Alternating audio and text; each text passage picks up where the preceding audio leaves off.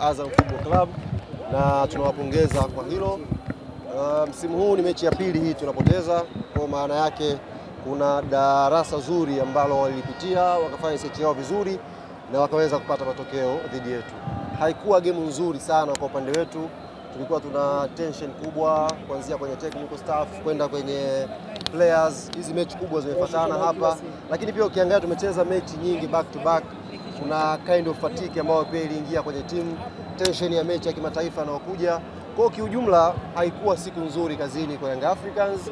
Tumekubali matokeo, tunajipanga sasa kwa mechi ya Mamelodi Sundowns ambayo tunaamini tutarudi tukiwa kamili kabisa kupata matokeo mazuri ya Benjamin Mkapa.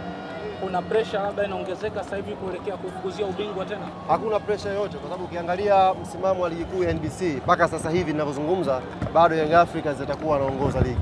Kwa hiyo yake hatuna presha yoyote sisi, hatuna presha yoyote kwa maana ya michezo iliyobakia ni mingi na tuna uwezo wa kukusanya pointi nyingi zaidi kuweza kutetea uchampioni wetu. Kama tutashinda mechi zetu na kesho mechi zao, maana yake gap imepungua sasa kutoka saba kuja wa pili ambaye anashika nafasi ya pili ambaye gap ni pointi nne.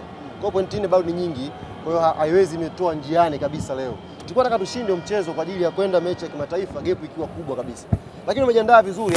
Matokeo tunawapongeza, tutakutana na mechi zinazofuatia za ligi, ila sasa hii focus yetu sasa inakwenda kwenye mechi ya Mamelodi. Hii mechi unajua ilivyokuwa inakuja itengenezea tension kidogo. Hawa Azam ni wagumu na wao umetake advantage ya pressure yetu, wameweza kupata matokeo mazuri. Tutakutana nao inshallah wakati mwingine. Asilimia kubwa mechi zenu za kimataifa mmeenda mkiwa na morali nzuri ya ushindi, labda leo kuna namna itawanyong'onyeza? Hii sasa imetuongezea motivation zaidi, yaani hii imetuongezea motivation kwa sababu wachezaji wataondoka hapa wakijua mashabiki, wanachama Young Africans wamewasamehe kwa leo, lakini wanakwenda kuwa kubwa dhidi ya Mamelodi Sundowns.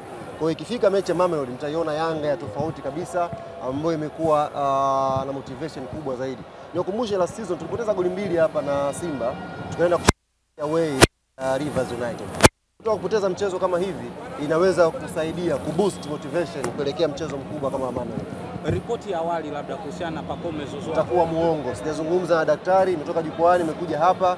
Nafikiri baada ya muda tutakuja kuwapa taarifa kamili ya Pacome Zouzoua majira yake hapo, lakini pia nimeona amepata amepata majeruhi. Ndio hiyo nakwambia, mechi kubwa zikipata hivi, kuna tension fulani ambayo inaweza ikapunguza uh, ufanisi wa baadhi ya wachezaji, lakini pia kukamia kama hivi ukaumiza baadhi ya wachezaji. Kwa hiyo baada ya Pacome kutoka, ninyi wote mnajua mpira ni kama players walikuwa wacheza kwa tahadhari kubwa, wasiumie zaidi, pengine ukaukosa mchezo mkubwa. Kwa hiyo sisi tunaojua mpira tumeelewa na tunajipanga kwa ajili ya mechi kubwa dhidi ya Mamelodi Sundowns.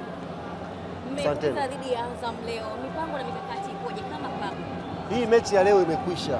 Focus yetu sasa hivi ni tarehe 30 dhidi ya Mamelodi Sundowns. Hakuna focus nyingine zaidi ya hiyo.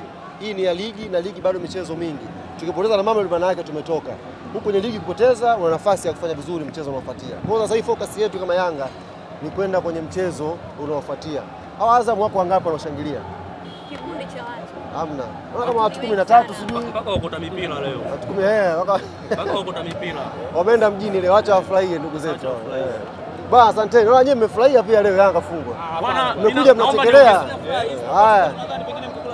Unajua hivi hivi vilabu vingine vya mpira vipo kama gari la taka, lisiponuka basi litaharibika njiani. Tuko sana sisi. Eh, kwa hiyo- Tunataka tarehe 30.